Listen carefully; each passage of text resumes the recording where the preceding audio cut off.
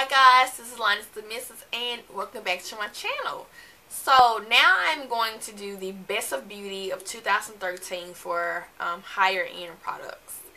And um, the I will link my drugstore down below. And the first thing on the list is foundation. And the higher end foundation that worked for me was the Match Master by MAC. And my color is 6.0. This was very easy for me to blend. Um, it would definitely be a repurchase for me. It was it was just it has a pump, so it's sanitary. It's this this was hands down um, what worked for me. Like I have other stuff that I didn't even have to bother to even open because this worked for me. So that is that. And then the next one is concealer. So for concealer, it would go to the MAC Pro Long Wear Concealer. And my color is NC42. Um, it doesn't give me a highlight. It's just, it just conceals. But um, it does work. Um, I know some people complain about maybe too much came out. I mean, I could not be using it right. For me, it seemed like not enough came out, so I have to use two pumps. But that's the one that worked. That that worked for me. Then as far as primer goes, I would have to give it to Smashbox um, Photo Finish Foundation Primer. It does has a SPF of 20 in it. And I have like several of the their smaller um their small sizes. So this works. This is this is good. And it's very easy to use. It doesn't take a whole lot. So I like this. And then the next one is primer, not primer, powder. So for powder, I would have to give it to the MAC Mineralized Skin Finish in Natural. And my color is medium dark. So that works for me. Then the next one is eyeliner. So I don't really have a lot of high-end eyeliners. But the two that I do have are from I do, I do have some, but I just hadn't been using them, so I can't tell you if I really, really like them. But the ones that I have had a chance to use are the Urban Decay 24-7 Glide On Eye Pencils. And I have um, Lust and 19.99. So I have actually used the purple one um, to kind of like give, give, um, you know, like a, a pop of color in my waterline. So they stay in the waterline, but they are hard to get out. Alright, so the next one is eyeshadow. For me, I like Urban Decay eyeshadows. So I have to give it to these. And then I also recently been loving my Anastasia Beverly Hills palette. And I like these.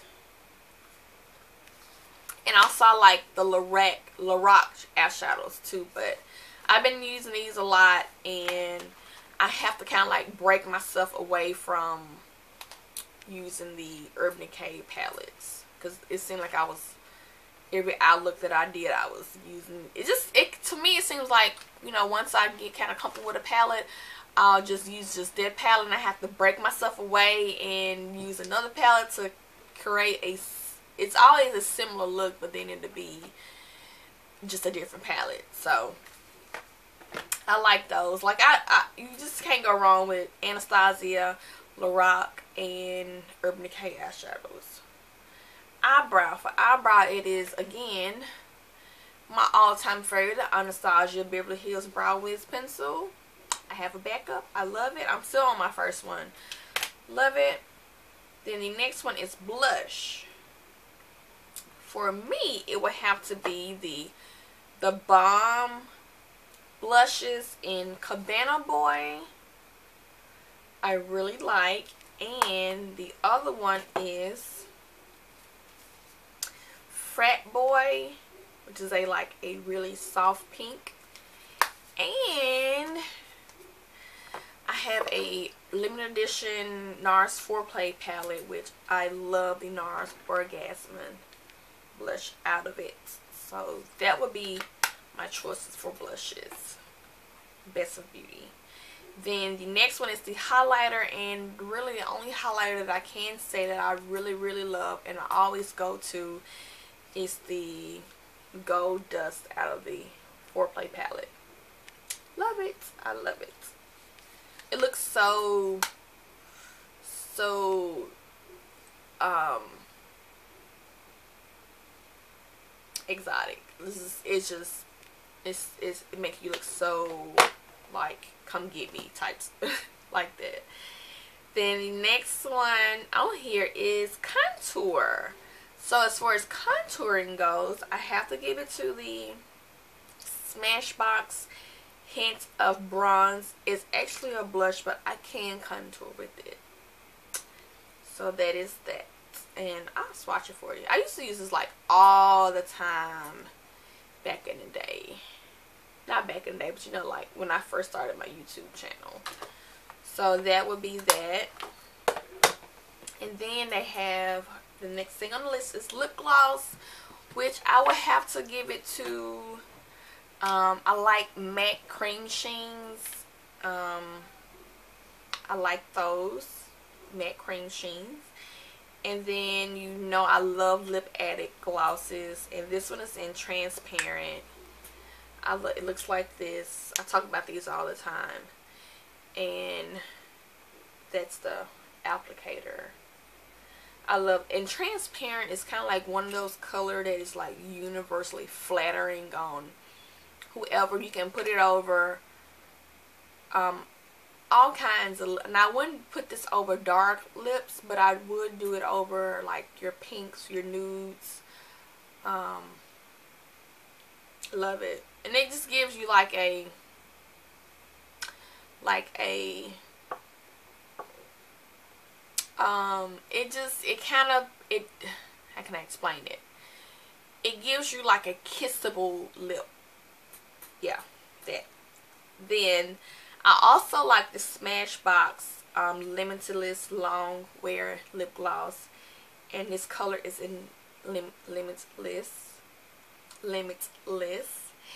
And I used to talk about this all the time and then it got lost in everything else that I was using. Um, it's really pretty. They are kind of sticky, but it doesn't bother me. For me, I feel like sticky gloss is kind of like less long. Like, I don't like my hair to get caught in them, but I um I actually kind of like prefer these stickier glosses. Then the next thing that's on the list is um, lipsticks. So I have three that I really, really, really like. Um, the first one, I used to use this like all the time in my earlier um, YouTube videos, which is the Smashbox Leg Be Legendary lipsticks. They are really nice. They don't, I don't really hear a whole lot on YouTube about them, but this is in the color of Melon Drama. This is this is like this is was my go-to lipstick in the summertime, and this it's an orange color, like an orange and coral. And um, I like him. I like him. Like him. Like him. I have a few more, but uh, this one was the one that I wore all the time, all the time. Then I also have like a mini NARS lipstick that I got in my Sephora favorites um, little box thing. And it is the NARS Dolce Vita. And some people don't like NARS lipsticks. But this one kind of made me want to explore into NARS lipsticks. It is so moisturizing, so creamy and this color is it is like an everyday color you can like wear it with anything and it, it gives you even if you don't have on any makeup I have actually worn this without any makeup on and it kind of like wake my face up like you pay attention so this this is good then um, another high-end lipstick that I have to get some kind of recognition to. At first, I was not a fan because I felt like $22 was too much to pay for a lipstick. I'm just going to be honest. It was just it was just too much. I was like, these are just ridiculous. It's, it's like four lipsticks for a hundred dollars. It was just too. It was too much. But I do like them, and I don't think they're worth the price that you pay for them, especially going behind um, the Milani lipsticks. Um, they're awesome. I mean, they're awesome. But I have to say that the Urban Decay Revolutionary lipsticks, they are good quality. And I'm actually wearing the Naked one now. And I like it. This this color is like I wear this with everything, and I actually will wear this like every day. Uh, but I have to take it out of my purse because if I don't, I will wear it every day. I have to branch out to try new things. I really, really like this color.